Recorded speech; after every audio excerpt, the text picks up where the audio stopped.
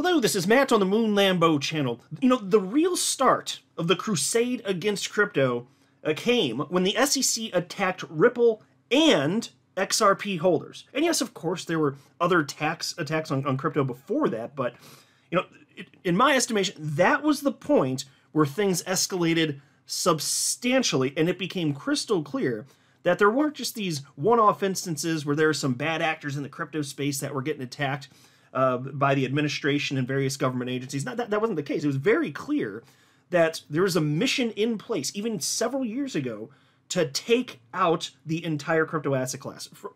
Some politicians wanted that, and some bureaucrats wanted that. But I, I will tell you this: we've been through the worst of the SEC attack, uh, you know, as, as well as the attack on crypto, you know, from the from the current administration. And, and for the first time, honestly, and you'll see why I'm saying this, you're going to love this video if you're pro crypto. Uh, for the first time, it looks like an ending is in sight, even if that ending is, you know, pretty much at the horizon. You know, even if it takes years to get there, but it's visible. The path is there. Things have changed so quickly, and it's for glaringly obvious reasons, which I've been saying for the longest damn time, literally for years on end. It's just it's coming uh, to fruition now it is indeed the case that there is no voter bloc that is anti crypto. Yes, there are people who are anti crypto because they're idiots and they don't know what the hell they're talking about. Uh, th- they exist, but is crypto an actual voting issue? Is that something that's going to drive them to uh, to to the uh, to the to the poll, to the uh, election booth, a voting booth? No, obviously not. But is there a is there a voter block of pro crypto people out there? Yes, Oh, yes, I consider myself part of that. I'm willing to bet that the vast majority of you do as well. Things are changing.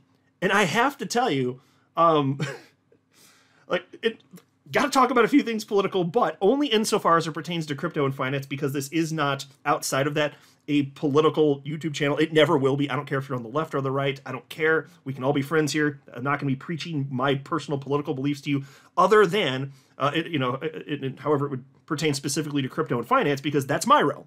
So if the politicians want to jump into my realm, yeah, I'm going to talk about it, but that's as far as I go. But wait till you see what uh, what what Donald Trump has been saying, because my God, the degree to which he has is flipped pro crypto is astonishing. He has recognized this gigantic voter bloc, which I've been talking about for the longest damn time. And so, just as a quick reminder here, just a little table setting in case y'all missed it. Uh, here's a headline from Blockworks from May 16th. Senate passes resolution to overturn SAB 121. And so SAB 121 was the what uh, the the SEC implemented, which basically made it impossible financial for financial institutions to custody crypto. It is an attack on crypto. And uh, normally, you don't go through that particular type of process, putting out an accounting bulletin, which is what this is, to get something like this through because it's too big of a deal. And that's why uh, it was, you know, many in, in, uh, politicians in Congress said this is actually illegal for something of this magnitude, you need to go down the proper uh, path, which they didn't do.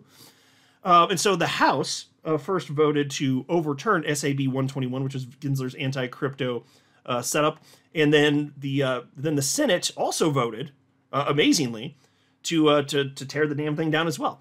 Now on May 8th, before this this this we saw the result of the votes on May 8th, President Biden said, "If this gets to my desk, I'm going to veto it." But since then, like there's been clear panic in the administration. I think it's very obvious. They're starting to, even they are starting to soften a bit on crypto. Um, and uh, so it'll be, he may still veto it, but, uh, and he said he would. But I think that they're recognizing this is actually harming him in the polls. And the polls currently, mind you, this is an election year in the United States, polls not looking so hot for the current administration. We also have this House passes crypto regulation bill, eyes Senate approval. So this is from May 23rd, and I covered this at the time. So pass the House, we'll see what happens moving forward. And then there's the question of, you know, is this something that would also get vetoed? Well, in this case, amazingly, and this is why I said one of the reasons I said uh, Biden was softening on on his anti-crypto stances because he said that uh, I shared it at the time. I'll, I'll paraphrase here, but said he'd work to get some sort of, you know, uh, crypto legislation through, and that he indicated that he would not veto this one. He'd veto the other one, but not this one because whatever. It's because he flip flopped. He did like a 180 in zero seconds flat once the administration realized, oh man, we're in trouble. That's all it is. Wh- whichever way the political winds are blowing, whatever's going to be great uh, for him in terms of getting reelected. Yep, that's exactly what's happening.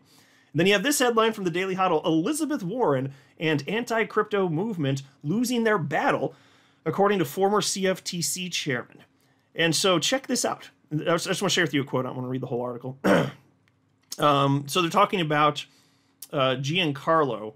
Um, yeah, Christopher Giancarlo, former CFTC chairman. And uh, and so he noted that uh, the White House may veto th- that bill, which it's the FIT21 bill. That's the one that I just referenced.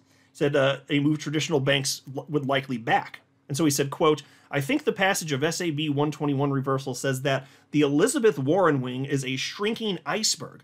Notwithstanding some parts of the banking system that may be resistant to digital asset innovation, forcing them to reserve a 100% against their holdings effectively means banks can't be a player in this innovation.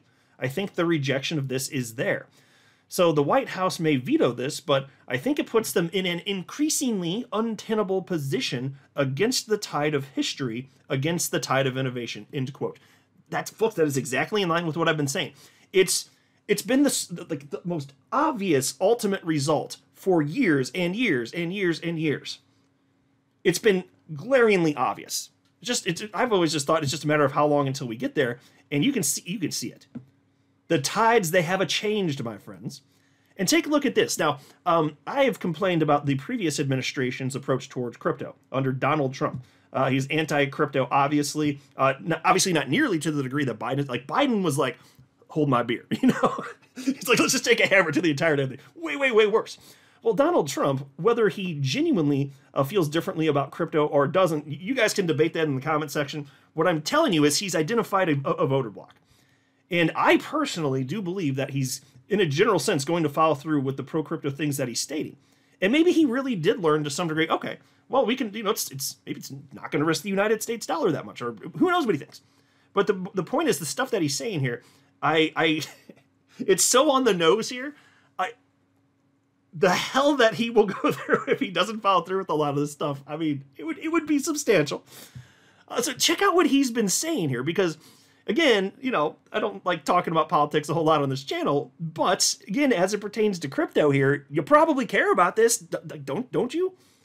You know, even if you're outside of the United States, what happens in the United States, the world's largest capital market, that impacts all of the rest of you outside of our country. So you, you sadly, I hate to say, it, like you should care, unfortunately, at least if you're in crypto, at least, right? And so here's here's the headline from Cointelegraph. Donald Trump declares U.S. must not settle for second place in crypto industry. And um, I'm not going to read much of the article here, but here's what they were referencing. There was this post from his social media platform, Truth, uh, which reads as, as follows. And he just posted this the other day, and this is what everybody's been talking about on social media as a result. Uh, here it is from, from Donald Trump. I am very positive and open minded to cryptocurrency companies and all things related to this new and burgeoning industry. Our country must be the leader in the field. There is no second place. Crooked Joe Biden, on the other hand, the worst president in the history of our country, wants it to die a slow and painful death that will never happen with me. Golf clap for supporting crypto. Absolutely. and check this out. Uh, this might be part of the reason they're like, yeah, we do want them crypto voters. Take a look at this. Uh, according to Polymarket, a New York based uh, crypto prediction platform, Trump has a 56% chance of winning the election, while current President Joe Biden holds a 38% chance. So, like I said, can't really afford to be giving up voters at this particular juncture in time. This election, however it lands, it's probably going to be very close, and a lot of stuff can happen between now and November. So, who knows? This could shift. Uh, but I, I don't want anyone uh, to have any power uh, you know, from a voting perspective, if they're anti-crypto. I am against anyone that's anti-crypto. Now, that doesn't mean I'm a one-issue voter, but I don't want that. So you can guess which way I'm going here. I know what I know. I know what outcome of this election is in my personal best interest from a financial perspective, especially as it pertains to crypto. Do do you have that figured out? Because look, I don't even if you prefer um, any you know politics of the left. That's fine. I'm not here to talk about the other crap. Just believe whatever. That's fine. But at least be intellectually honest enough to admit to yourself that it's in your best interest if there's a change in administration. You you have to be intellectually honest enough to, to, to acknowledge that if you're in crypto, right? Uh, here's a post from Bank XRP. Shared this video clip of Tr- Trump talking and giving all the, the crypto stuff, and he had a couple quotes here. Uh, Trump said, "quote I will ensure that the future of crypto and Bitcoin will be made in the USA." End quote. And here's another one. "Quote I will support the right to self custody to the nation's 50 million crypto holders." End quote. You gotta love that. Uh, here's another one. This was shared by Mario Nawfal. Uh, he said, quote, and I love this as well because obviously John Deaton is trying to take Senator Elizabeth Warren's job right now. Uh, he can. We'll, we'll see what happens, but I, I have all the confidence that he actually can pull that off. Check out this quote, though. It's just like, Trump, like basically every every um, crypto issue from a political perspective that we broadly have, because there's not much disagreement on a lot of stuff. All these big things that we keep talking with just in a, a broad crypto community Trump has taken on all of those positions. That is what he has done. He wants these voters. So he said, quote, I will keep Elizabeth Warren and her goons away from your Bitcoin. I will never allow the creation of a central bank digital currency. End quote. How about that? Uh, then there was this post from attorney James Murphy in the world of crypto, uh, known as MetaLawMan. And he said, It's hard to believe how suddenly crypto has come to the fore. I was half expecting Trump to say, and I'll terminate Operation Choke Point 2.0 and make sure Caitlin Long's Custodia Bank gets a Fed master account. End quote. Yeah, exactly. That's about how close he's getting here, right? And then he said, "I wouldn't ex- I wouldn't settle any crypto case with the current SEC before seeing how the election turns out. Given what Trump and Kennedy are saying, I would expect a very different SEC under open-minded leadership like Hester Peirce or similar." For starters, I could imagine voluntary dismissals of crypto cases the Gary Gensler regime has initiated, where there was no fraud and no victims. I would expect a return to the core mission of protecting investors rather than trying to achieve political objectives through enforcement. Uh, yeah, that's going to change. I, I would not be surprised if that ends up coming to pass. I mean, under different leadership, if it goes the way that we think and hope it will, broadly speaking, there's an actual chance of that. Now, of course, we as XRP holders had to go through all this crap all these years and basically missed an, missed an entire bull cycle, but we can't control that. Life's still good. The financial opportunity is still here. It's all going to be okay. And take a look at this one. This is the degree to which he's going all over crypto. For a headline from Coindesk Trump pledges to free Silk Road creator Ross Ulbricht if re elected. Donald J. Trump has pledged to commute Silk Road founder Ross Ulbricht's life sentence to time served if he's reelected president. And he said, quote, if you vote me, vote for me on day one, I will commute the sentence of Ross Ulbricht to a sentence of time served. He's already served 11 years. We're going to get him home, end quote. Now, that's a very popular position uh, for people in the world of crypto. And certainly on the surface, it sounds like an outrageously harsh sentence, and maybe it was, maybe it wasn't. I actually, I'll just mention this briefly. Um, I looked into this fairly in depth, the, this whole this whole court case, um, shortly after I jumped into crypto. So it may have been 2018. It's it's been a long time. Um, I will say though, when I looked into it, after learning some of the specifics and, and, and, looking at a lot of the evidence, I understood why he had the harsh sentence that he did. I mean, it was stuff, and I'm pulling from memory from like over half a decade ago, so I admit I could be a little wrong. And if and perhaps there's even you know information that could persuade me. So I'm not saying I'm 100% cemented in my position, but it seems like he did disgusting, terrible things that could have or did risk the lives of many people and may have actually resulted in real death. So you know, on the surface, like, oh, he ran an internet website. Well, have you listened? So everybody out there seems to have an opinion on this. Be, be honest though. Have you, if you have a firm opinion, do you deserve to have a firm opinion or a loose opinion? Have you spent the time to look into this to any degree more than just surface level stuff? Because I've read into some serious stuff. Now, again, it's been a long time. I'm willing to be persuaded, but I, I'm just saying after going through it, I was like, God, maybe he really does deserve to be in jail. And so then for all these years since, I see people saying he should get out. It's too harsh, and I'm just like, well, maybe you're right, but I don't think you did any research into this. I think you just feel a certain way because it's easy to feel that way on a surface level, especially if you're pro crypto. Um, but but either way, this is setting that aside. This is a very popular perspective in crypto. It's hard to find people that disagree with that, and I acknowledge that. Almost everyone thinks that he should uh, be let free and um, that that might happen. There's a real chance. and so because otherwise he's he was never going to get free. There's not, not a chance unless he gets a presidential pardon. He's stuck forever in prison. That's that. Um, and so he got news of this and he shared this post on social media platform X. Now, of course, um, he he isn't typing this himself. he's he's sharing messages and then he has somebody run his account for him. But this is the real Ross Ulbricht account, uh, 180,000 followers on X. And here's what Ross said, and understandably, uh, he's ecstatic. He wrote the following.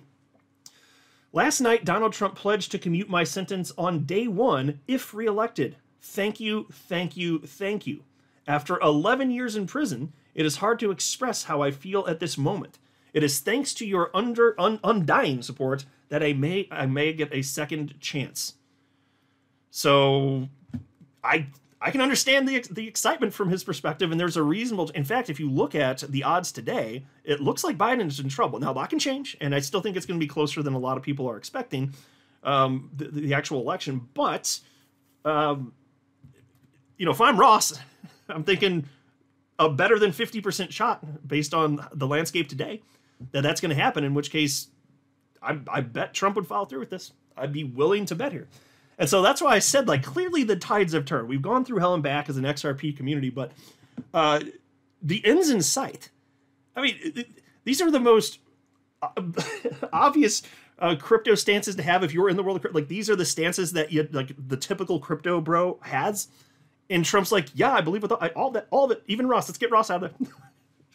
My God, that's a total flip from what uh, Trump was saying when when uh, when his administration was in charge. But uh, hey, he recognized an opportunity when it comes to this crypto voter block. Uh, he may have genuinely changed his perspective. Uh, I can't read his heart and mind, but I, I have a feeling he's actually going to follow through with a lot of this stuff here. So, if, you know, if, if given the chance here, so we'll see what happens. But it, isn't it fascinating how things have changed into this degree? I'm not a financial advisor. You should not buy or sell anything because of anything I say or write. That would be a very, very, very bad idea. Until next time, to the moon, Lambo.